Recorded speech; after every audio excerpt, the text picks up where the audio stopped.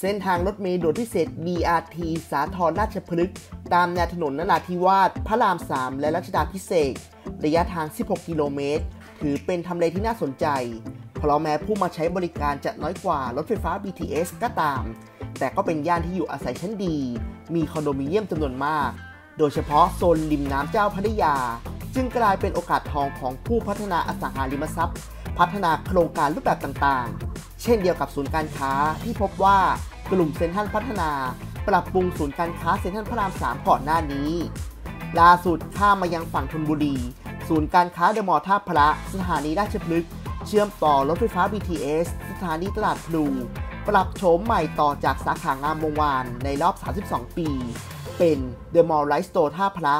ด้วยงบลงทุน 3,000 ล้านบาท พื้นที่รวมกว่า 150,000 ตารางเมตร รองรับกำลังซื้อย่านฝั่งธนบุรี ผนวกกับย่านรัชดาพระราม 3 และย่านราชพฤกษาทรประชากรกว่า1ล้าน2แสนคน 6 แสนครัวเรือน 120 คอนโด แม็กเด็ดตักก็คือกูเม่มาร์เก็ตพื้นที่กว่า 5,000 ตารางเมตร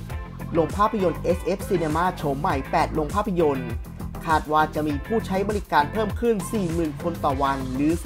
30%เน้นจับจ่ายซื้อของทุกวัน ทานอาหารวันหยุดเสาร์อาทิตย์ อย่างไรก็ตาม การแข่งขันอาจไม่ได้หยุดแค่นั้น เพราะยังมี Terminal 21 พระราม 3 ใกล้ BRT เจริญราษฎร์ที่ใกล้จะแล้วเสร็จ เดิมมีแผนจะเปิดสิ้นปี 2564 แต่ติดสถานการณ์โควิด -19 ต้องเลื่อนไปเปิดในปี 2565 เบื้องต้นเป็นอาคารศูนย์การค้าสูง 7 ชั้น ชั้นได้ดิน 2 ชั้น พื้นที่ใช้สอยรวม 140,000 ตารางเมตร ที่จอดรถกว่า 1,600 คัน พร้อมลานอีเวนต์บริเวณชั้น 2 วิวแม่น้ำเจ้าพระยา อย่างไรก็ตาม โดยสถานการณ์โควิด -19 ยังไม่สิ้นสุดลง ธุรกิจค้าปลีกจึงต้องปรับตัวให้เข้ากับพฤติกรรมผู้บริโภค ที่เปลี่ยนแปลงไปตามชีวิตวิถีใหม่ หรือ New Normal โดยเฉพาะการมีสินค้าและบริการครบครันในที่เดียว รวมไปถึงบริการพิเศษ เพื่อให้การช้อปปิ้งสะดวกมากขึ้น